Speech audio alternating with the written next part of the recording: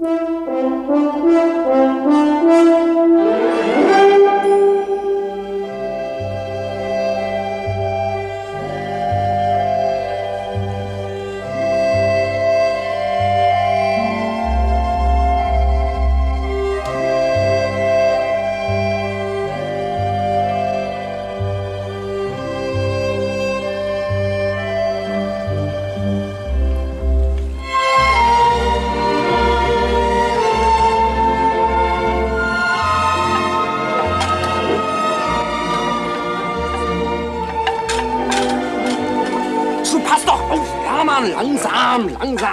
Mensch, ist das schwer, verdammt nochmal. Hier wird nicht geflucht, Herrschaften. Hier ist ein anständiges Haus. Nun regen Sie mich sich mal nicht auf, Madame. Ich reg mich auf, wann ich will. Und nun mal los, Beeilung.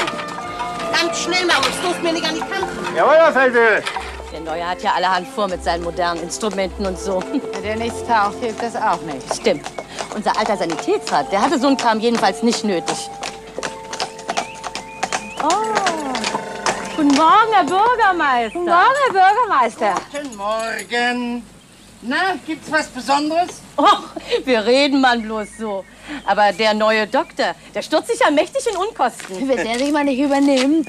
Wie rührend, dass sich die Damen wieder mal den Kopf von anderen Leuten zerbrechen.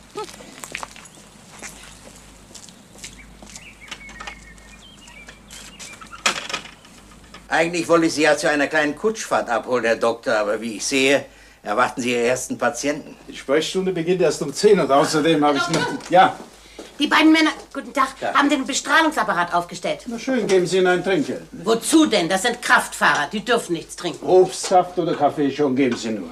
Noch keinen Patienten und schon Trinkgeld.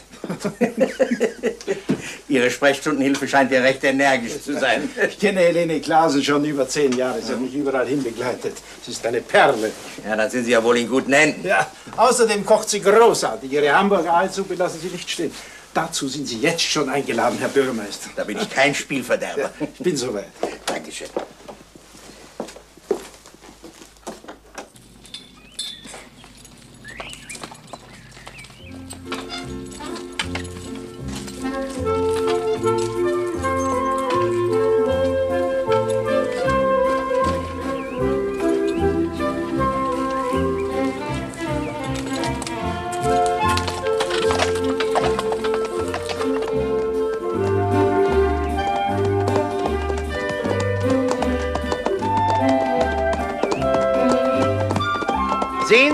Das ist unsere Gemeindeschule. Aha, sehr hübsch.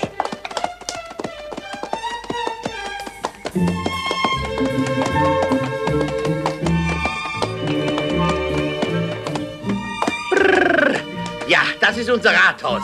Na, das kennen Sie alle schon. Und dort drüben geht der Weg nach Herresbach. Und dort In der Kirche, da war ich gestern schon.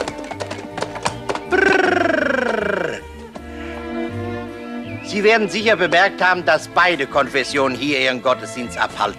Ja, den beiden Geistlichen muss ich auch noch meinen Antrittsbesuch machen. Pfarrer Lecht und Pastor Petersen, die werden Ihnen bestimmt gut gefallen. Sicher? Dann fahren wir jetzt mal ein Stück raus, ja?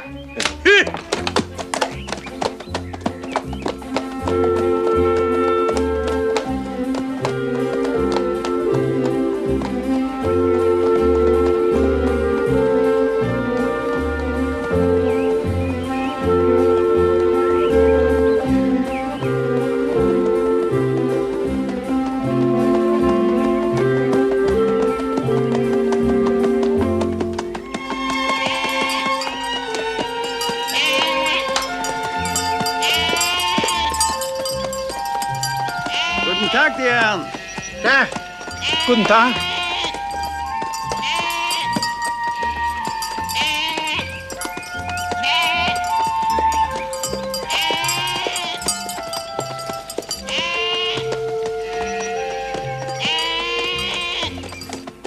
dort der Wald, der gehört zu unserer Gemeinde. Und daneben liegt der Teich. Und in der gleichen Richtung liegt auch die Kreisstadt. Sehen Sie, hinter dieser Hügelkette. Da. Ich glaube, es war doch richtig, hierher zu kommen. Wenn Sie sich erstmal hier richtig eingelebt haben, wird Sie Wingefeld nicht mehr loslassen. Und wenn wir jetzt in den Ort zurückfahren, zeigen auch mal die Gendarmerie. Da müssen wir vorbeifahren. Ich möchte mich dort gleich bekannt machen. Ja, gern. Mit den beiden Beamten werden Sie ja bei Unfällen oft genug zu tun haben. Hoffentlich nicht zu oft. Hoffentlich. Aber dann muss ich gleich in meine Sprechstunde. Es könnte ja sein, dass ich doch schon einen Patienten eingefunden habe.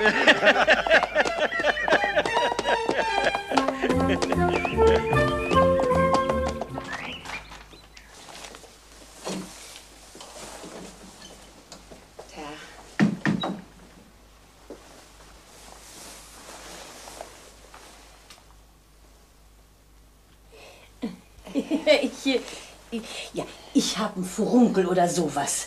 Ach, so plötzlich. Ja, ja, ganz plötzlich. Und Sie? Was haben Sie denn?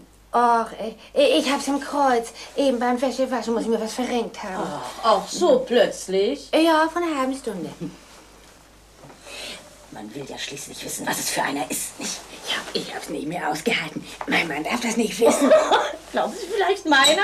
Der nächste bitte.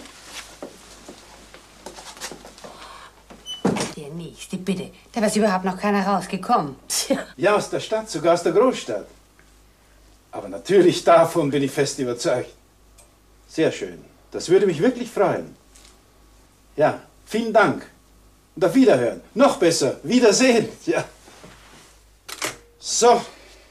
Nein, das darf doch nicht wahr sein, Tante Adelheid. Peter, mein Junge, ich musste einfach nach dir sehen. Komm, lass dich küssen. Diese Knutscherei. Komm, Tanzchen, sag mir, meine Gute, wie bist du bloß auf den glorreichen Gedanken gekommen, mich hier zu überfallen? Sinnig Goldi kommt einfach her, um nach dem Rechten zu sehen. Echt, Tante Adelheid. Echt, Tante Adelheid. Draußen warten zwei Patienten, Herr Doktor. Sagen Sie, Patient? Ja, und wenn Sie sie noch länger warten lassen, sind Sie sie wieder los. Wenn Helene sagt, draußen warten zwei Patienten, gibt's keine Widerrede. Du entschuldigst, Tanzchen. Ja. So, Abdruck von Verbinden. Das war kein Furunkel, wie Sie gesehen haben, Frau Meier, sondern ein Holzsplitter. Oh, das kommt ja öfter mal vor, nicht, Herr Doktor? Gewiss, aber manchmal entwickelt sich eine Sepsis daraus. Gut, dass Sie rechtzeitig gekommen sind. Das habe ich mir doch gleich gedacht, Herr Doktor. Sollten sich Beschwerden einstellen, dann schauen Sie noch mal vorbei, ja? Natürlich, Herr Doktor, sehr gern, Herr Doktor. Und den Krankenschein habe ich auch schon Ihrer Sprechstundenhilfe gegeben. Ist recht, Frau Meier. Meyers, Herr Doktor, Meyers mit S. Ja, also dann auf Wiedersehen, Frau Meier, mit S. Wiedersehen, Herr Doktor, und vielen Dank. Der Schmerz in Ihrem Rücken hat keine besondere Ursache. Ein bisschen Einbildung dabei, wie? Ja, aber mir war das so, Herr Doktor. Sehen Sie, Ihnen war nur so. Wenn Sie nach Hause kommen, sind die Beschwerden vorbei. Meinen Sie wirklich, Herr Doktor? Ich weiß es. So. Na, dann kann ich ja jetzt gehen, nicht? Aber einen Krankenschein haben Sie noch nicht abgegeben. Ich, ich möchte gern selbst bezahlen. So, Sie wollen bezahlen. Das macht eigentlich 10 Mark. Aber heute ist es ausnahmsweise umsonst. Ach So. Na denn, Dankeschön. Danke. Da. Dankeschön. Es sind wirklich keine Patienten mehr gekommen, Frau Klaasen? Kein einziger mehr. Ich kümmere mich jetzt um die Präparate, Herr Doktor. Ist gut, Helene. Siehst du, sie boykottieren dich. Was willst du, Tanzchen? Heute waren doch schon zwei Patienten da. Ich habe Ihre abfälligen Bemerkungen im Wartezimmer gehört. Du wirst sehen, niemand wird mehr kommen. Die Leute müssen sich erst an mich gewöhnen. Gewöhnen? An dich, den ehemaligen Chefarzt des Elisabeth-Krankenhauses? Wie konntest du nur in diese Wildnis flüchten? Wingenfeld ist ein sehr idyllischer Ort. Außerdem habe ich noch sechs andere hübsche kleine Dörfer ärztlich zu betreuen. Und was heißt flüchten? Das weißt du ganz genau. Dich hat das Alleinsein bedrückt. Seit Ingrids Tod fühlst du dich einsam.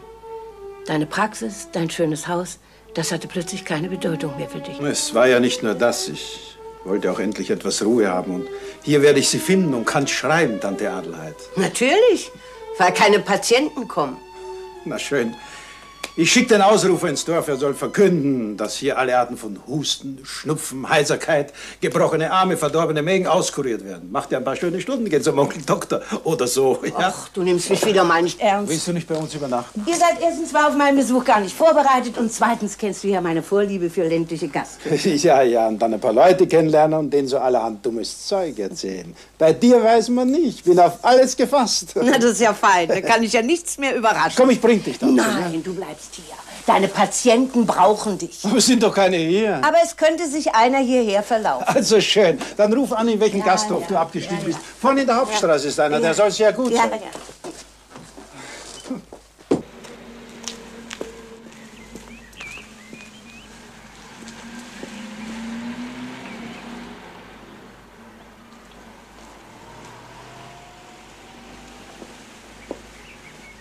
Tag, Fräulein Dr. Weiner. Guten Tag, Herr Zillig. Meine Frau hat mir vorhin erzählt, der neue Arzt eröffnet heute seine Praxis. Ja, das habe ich auch schon gehört. Ach, Sie kennen ihn auch noch nicht? Nein, aber ich gehe nachher mal nach seiner Sprechstunde bei ihm vorbei. Ach so, ja. Wiedersehen. Richtig. Wiedersehen. Kommen Sie, ich zeige Ihnen Ihr Zimmer. Hat es auch fließendes Wasser? Aber ja, was dachten denn Sie? Wir haben doch im vorigen Jahr erst alles renoviert. Auch warmes Wasser? Kochend heiß, wenn Sie es wünschen. Bitte schön, da geht's hinaus. Herr Doktor, Ja? Besuch? Was, jetzt noch? Führen Sie ihn ins Sprechzimmer. Nicht doch, richtiger Besuch. Ein Fräulein Doktor. Was, eine Kollegin? Na, nicht jeder Doktor ist ein Arztdoktor. Sehr kluge Bemerkung. Ich weiß, manchmal kann ich eben meine Weisheit sehr schwer verbergen. Sie ist Apothekerin, Herr Doktor. Also führen Sie sie schon herein. Bitte. Bitte, Freund Doktor. Sie sind der neue Arzt? Verzeihen Sie, woher kennen Sie mich? Ach, ich sah Sie heute Vormittag mit Ihrem Bürgermeister im Ort. Da ahnte ich allerdings nicht, dass... Na, ist ja auch gleich. Mein Name ist Wallner, Erika Wallner. Sehr freut, Brock. Ich bin bloß vorbeigekommen, um Sie zu fragen, ob ich Ihnen irgendwie behilflich sein kann. Ich meine, da Sie doch neu hier sind, das ist nicht ganz einfach für Sie. Sehr nett von Ihnen, dass Sie mir helfen wollen. Bitte nehmen Sie Platz. Eigentlich geschieht es aus einer Art Egoismus. Als Apothekerin muss ich mich ja mit allen Ärzten gut stellen. Charmanter Egoismus. Darf ich Ihnen was zu trinken anbieten? Nein, nein, danke. Ich will euch mal sagen, was ich denke. Wer das Land nichts wird, der kommt zu uns aufs Land. Na klar, weil die meinen, für die dummen Bauern ist so ein abgehalfterter Stadtarzt gerade noch gut genug. Ja, dafür können wir uns ja bei unserem Bürgermeister bedanken. Hat der ihn uns nicht empfohlen? Dass wir einen neuen Arzt brauchen, darüber war sich der Gemeinderat einig. Jetzt haben wir einen, da gefällt er euch nicht. Was habt ihr gegen Dr. Brock? Ich bin ja gespannt, ob der sich hier in der Wirtschaft sehen lassen wird. Ich glaube kaum. Unser alter Sanitätsrat, der hat ja oft mit uns am Stammtisch gesessen und seinen Wein getrunken und auch mal eine Runde Skat gespielt. Aber der Neue, der ist sich zu fein dazu. Der ist mir überhaupt viel zu elegant. Nur wenn er bei dir erst nach Kuhmist riechen muss, dann gute Nacht. Na, bitte, nix gegen unseren Bauernstand. Meckert euch nur ruhig aus. Eines Tages werdet ihr schon einsehen, was für einen guten Arzt wir in Dr. Brock gefunden haben. Empfehle mich! Nie. Nie werde ich zu diesem Arzt gehen. Das ist ein Wort, ist halt. wir haben einen Gast, Willi. Oben auf Zimmer 2, eine alte Dame aus der Stadt. So, da ist dann ein paar Blumen am Tisch. Das kann nicht schaden. Na ja, ich bringe nachher ein paar rauf. Tja, was Sie mir da alles so erzählen, verehrte Kollegin, das kann einem beinahe ein bisschen bange machen. Ich habe nur gesagt, dass die Leute hier jedem mit Misstrauen begegnen, der ihnen unbekannt ist. Und Ihnen gegenüber, ist man da auch misstrauisch gewesen? Ich bin hier zu Hause. Die Apotheke habe ich von meinem Onkel übernommen. Aber ich kann Sie trösten. Wenn man hier einmal Vertrauen gewonnen hat, dann sind die Menschen treu wie Gold. Und wie gewinnt man dieses Vertrauen? Abwarten. Geduldig sein. Irgendwann kommt sicher mal die Gelegenheit, dass man ihnen beweisen kann, dass man ganz anders ist, als sie einen einschätzen. Vielleicht bin ich aber gerade so, wie Sie mich einschätzen. Unsinn. So, jetzt muss ich aber gehen. Es ist schon sehr spät geworden. Haben Sie heute Nachtdienst? Das nicht. Diese Woche ist die Sternapotheke in Görzing an der Reihe. Das ist so ungefähr 14 Kilometer von hier. 14 Kilometer? Ja, wie kommen die Leute dorthin? Wie man überall hinkommt. Per Bus, Auto, Fahrrad, Trecker. Manchmal sieht man hier sogar noch eine alte Kutsche. Ja. Ja, Doktor. Ich sag denen doch, man muss sich umstellen. Ich werde mir schrecklich Mühe geben und ich glaube, ich werde es auch schaffen. Aber Sie müssen mir versprechen, mir dabei ein bisschen zu helfen. Das tun Sie doch nicht wahr? Aus Egoismus. Das sagte ich ihm bereits zu Der Anfang. Grund ist mir egal. Hauptsache, Sie helfen mir. Ja, Helene, Sie tragen das Schallblatt wie ein Paket schmutzige Wäsche. Geben Sie. Heiliger Strohsack. Ach, jetzt ist sie bestimmt hin. Du merkst aber alles, mein Dirn. Och, ausgerechnet eins meiner Lieblingsstücke. Wahrscheinlich Heinzelmännchens Wachtparade. Die Trio-Sonate in C-Dur vom Bach. Kennen Sie sie? Natürlich. Na, so natürlich ist das wieder nicht. Ich mag klassische Musik. Bach, Händel, Mozart und... Äh, Hätte ich ja gar nicht zugetraut. Nein, so ist ja gar nichts passiert. Wollen Sie mal auflegen? Bitte? Ich habe das unbestimmte Gefühl, hier werde ich nicht mehr gebraucht. Ja?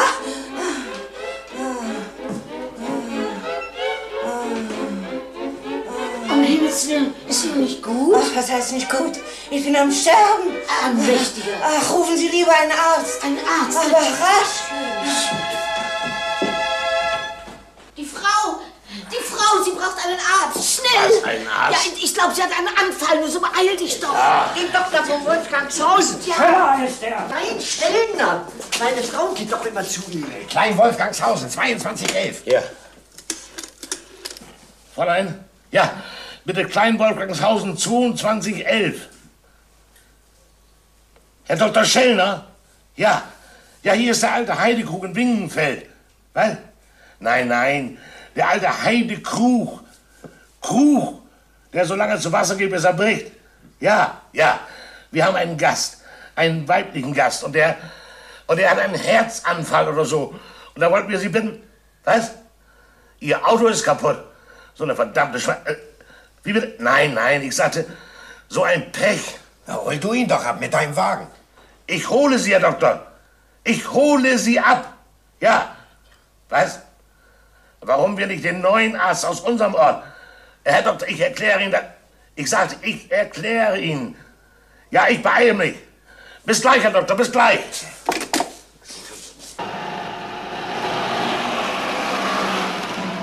Wie geht es Ihnen? Ist es etwas besser? Dr. Schellner wird bald da sein. Mein Mann holt ihn mit dem Wagen. Dr. Schellner? Mit dem Wagen? Was für ein Dr. Schellner? Na, aus Klein Wolfgangshausen. Es dauert nicht lange. Wieso denn aus Klein Wolfgangshausen? Er wohnt doch hier am Ort. Wer? Ich meine diesen Dr. Peter sowieso, vorne an der Hauptstraße. Ich habe sein Schild doch selbst gelesen. Ja, wissen Sie, wir dachten nämlich, ähm, äh, dieser neue Arzt ist... Alle sagen, er kann nicht viel. Was? Wer sagt, dass der Doktor überhaupt nicht viel kann? In der Stadt sagen sie, ist aus dem Krankenhaus entlassen worden. Oder Unsinn! vielmehr- Dummes Gerede, Gemeinheit. Dr. Peter Brock ist der beste Arzt, den es überhaupt gibt. Sagen Sie, Herr Doktor, ist mein Mann denn noch nicht bei Ihnen? Wie? Aber ja, schon vor 20 Minuten. Eine Umleitung durch den Wald. Ach so, wegen Straßenbau. Wie? Ob er das nicht weiß? Ich weiß nicht, ob er das weiß, Herr Doktor. Es wird ihm doch hoffentlich nichts passieren. Ich sagte, hoffentlich ist ihm nichts. Ja, ja, Sie meinen, er kommt noch. Nein, nein, ist schon gut. Vielen Dank, Herr Doktor. Oh, das kann ich mir doch gar nicht denken. Sie sind schuld. Wie bitte? Mein Mann. Es muss ihm was passiert sein. Noch nie hat er so lange bis Klein Wolfgangshausen und zurück. Und alles nur ihretwegen. Das habe ich nicht gewusst. Sehr unhöflich von mir, meinen Besuch so lange auszudehnen.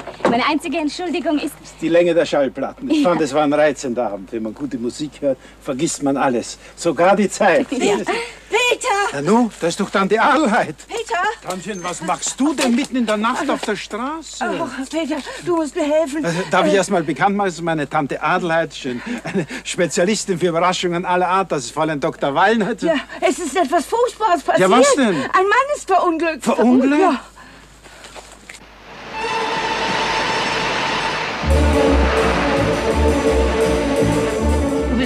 Böse, mein Junge. Wie könnte ich? Nicht wahr? Wo ich es doch nur gut mit dir gemeint habe. Du gibst also zu, dass du von vornherein den Plan hattest, diesen scheußlichen Anfall zu simulieren. Das ist mir so eingefallen.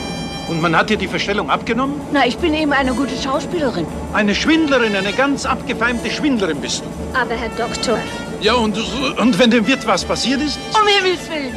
Ach, was fährt er auch in einen anderen Ort, um einen Arzt zu holen? Entschuldigen Sie meine Heftigkeit, aber ist sie nicht furchtbar? Ich denke, es wird seinen Grund haben, dass Sie sich so für Ihren Neffen einsetzt. Natürlich setze ich mich für Peter ein. Er ist ja nicht nur mein Neffe, sondern auch ein großer Mediziner. Chefarzt war er in einem Krankenhaus mit 200 Betten. Vorher hat er sogar im Ausland gearbeitet, im Hospital Saint-Lazare in Paris. Und jetzt ist er Landarzt in einem Nest mit 1000 Einwohnern. 500, Tante. Außerdem verbiete ich dir noch ein einziges Wort gegen diese Arbeit und gegen diese herrliche Gegend hier zu sagen. Hören Sie nicht mehr zu, ich bitte es.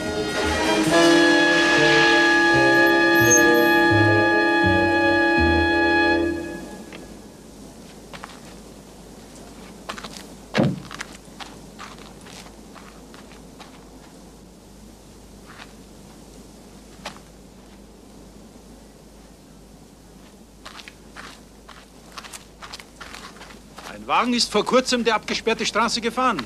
Man sieht da noch ganz deutlich die Spuren im Sand. Wenn es Gold so gewesen ist.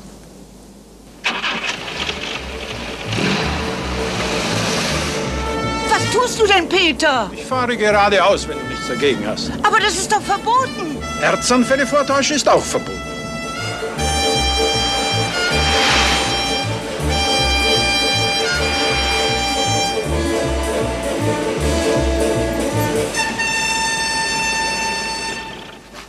Erwin, bist du's? Wird Zeit, dass sich mal jemand sehen lässt. Gestatten Brock, Dr. Brock aus Wingenfeld. Ja, Doktor, jetzt erkenne ich Sie. Ah? Ich habe Sie schon mal gesehen, beim Bürgermeister. Ja, ja.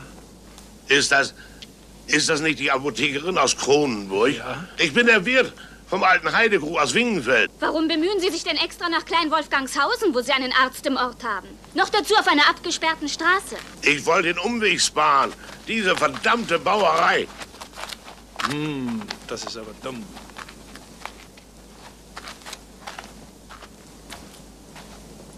Oh, ganz schön reingerutscht. Warum ist bloß der Erwin nicht gekommen? Ich meine, der Erwin von der Tankstelle. Oder die anderen vom Stammtisch. Irgendeiner hätte sich doch um mich kümmern können. So. Was macht er denn jetzt? Er wendet. Wahrscheinlich will er Sie herausziehen.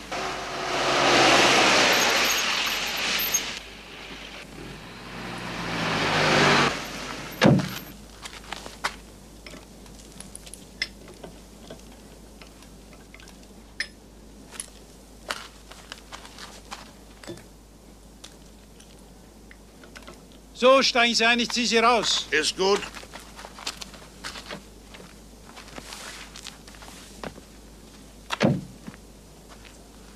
Alles fertig? Na denn.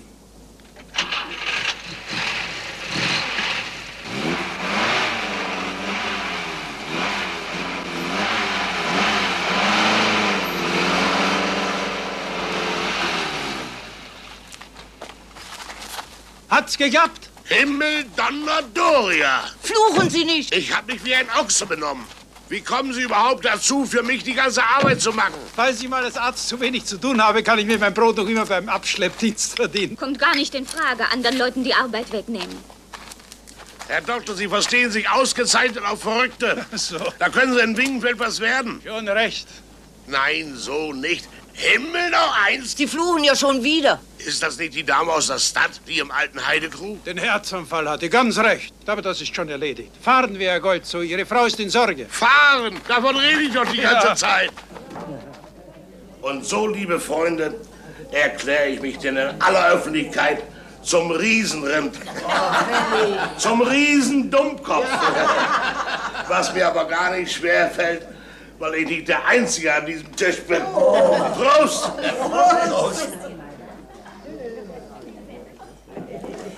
Ich möchte wenigstens den Ruf einheimsen, Ihr erster Patient in Wingenfeld zu sein, Herr Doktor. Wann fängt morgen Ihre Sprechstunde an? Und ich der Zweite. Ich hab's nämlich schon seit langem auf der Brust, Herr Doktor. Zu spät. Heute waren schon zwei Frauen zur Behandlung. Das geschieht euch recht. Bring noch eine Runde an Äh, die geht auf meine Rechnung. Ja, ja. Guten Abend, Herr Bürgermeister. Guten Abend. Ja? Da sehen Sie unsere Wingenfelder, wie sie sind. Ne? Die kenne ich schon lange und die sollen mal ruhig so bleiben. Unserem neuen Doktor haben sie jedenfalls den Kopf oben gelassen. Ja. Na und allerseits! Na sowas. Unser einer sucht nach dem Chef wie nach einer Stecknadel. Und er sitzt hier und zwitschert ein. Dabei kann er gar nichts vertragen. Aber eins musst du sagen, Peter. Ohne meine kleine Komödie würden wir jetzt nicht so gemütlich beisammen sitzen. Denn auf guten Erfolg unseres Doktors. Prost. Na sowas. Kaum ist man mal nicht dabei, werden gewisse Leute gleich unvernünftig. Aber Helene. Ach was, wo sie das scharfe Zeug nicht vertragen können. Prost. So, jetzt aber fix, fix. Drüben in Braunsberg haben bei einer Wöchnerin die Wehen angefangen. Die Hebamme hat angerufen, weil sie allein nicht weiter kann. Die Arbeit ruft. Sie entschuldigen mich. Wiedersehen. Wiedersehen, mein Junge! Oh, das ist ja leer. Hier, leer.